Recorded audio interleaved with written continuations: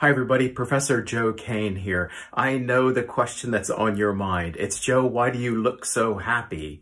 Well, the answer is because I've just finished recording the Innes lecture for 2020 and you're in for a treat. The title of my talk is the 1925 Scopes Monkey Trial or Why Do So Many People Hate Evolution? What's it going to be about? Well, it's going to be about the Scopes monkey trial. That happened in 1925 in America. Most people think it's a clash between science and religion, but I don't think so. In my talk, I explain why.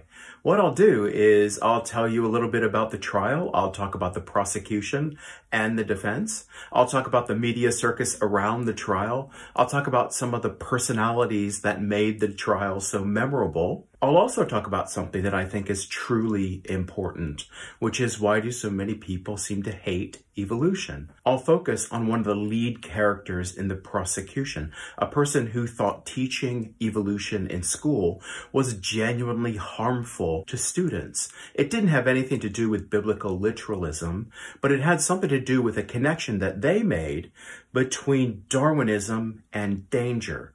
If you want to find out what that connection is, or you wanted to find out more about the monkey trial itself, well, catch the lecture online. I'll give you details for the release of the lecture at the end of this recording. On the night we release the lecture, we'll have a live reception afterwards in which I'll be taking questions from you. We'll be listening to comments that you send in, and we'll have even more to say about the Scopes trial. Details shortly.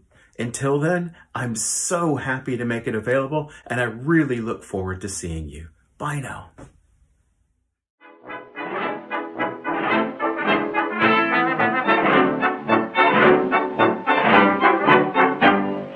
Monkey business, monkey business down in Tennessee. My Lulu made me fall. I'm monkey after all. Monkey business, monkey business. Now I see it all. When she rolled her eyes, it was no surprise how she could tantalize. Monkey business, monkey business, nothing else to do. Just sit and parley-vous like monkeys in the zoo. This baby sure did know her stuff. I said, I'm through. You play too rough. There's nothing to this monkey business down in Tennessee.